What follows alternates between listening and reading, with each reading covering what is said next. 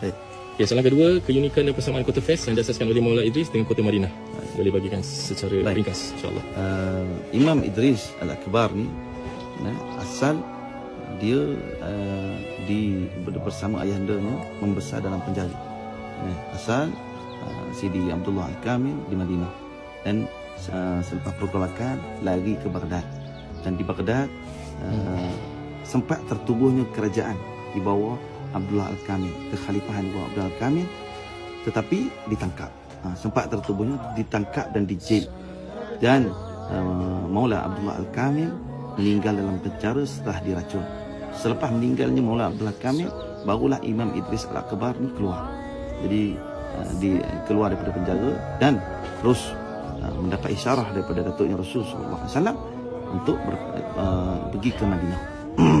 uh, pergi ke Maghrib, uh, Maghrib. Dan bila mana di Maghribi, Maula Abdullah Kamil mendapat isyarat untuk membina Madinah. Sama dengan Madinatul Munawwar. Kota yang sama. Dia membangun kota itu dengan dengan tujuan membina uh, kota Madinah satu lagi di belah barat. Di belah barat. Jadi memang kalau kita pergi ke uh, Masjid Imam Adrisi Al- uh, Al-Akbar dan Imam Idris Al-Azhar dipanggil Haramain Idrisi. Dan di kawasan masjid itu akan ada palang-palang-palang menandakan itu kawasan Haram Al-Idrisi. Mana dinisbahkan dengan kota Madinah. Nah, sebagaimana kota Madinah. Dan uh, sekitar pembinaan rumah-rumah mereka pun uh, sama dengan macam kota Madinah ratusan tahun dulu. Dan hari ini macam anda duduk sekarang di rumah satu satu rumah di Fes ni yang anda duduk dinamakan rumah Darus Surafa. Umur rumah ni 1180 tahun. Umur rumah ni.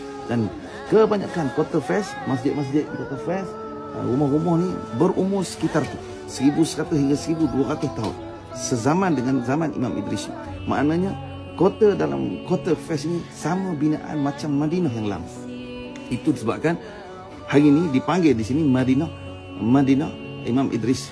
Nah, Madinah Imam Idris. Madinah Al-Idrisi atau Haramain Idrisi. Dia ada dua kota.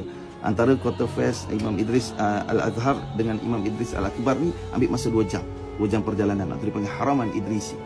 Uh, jadi itu sebab uh, dan keunikan kota ni kebanyakan penghuni-penghuni yang duduk ramai yang yang yang mengetuai mengelep apa ni ketua-ketua dalam kota ni adalah di kalangan Al-Hasani Al-Idrisi.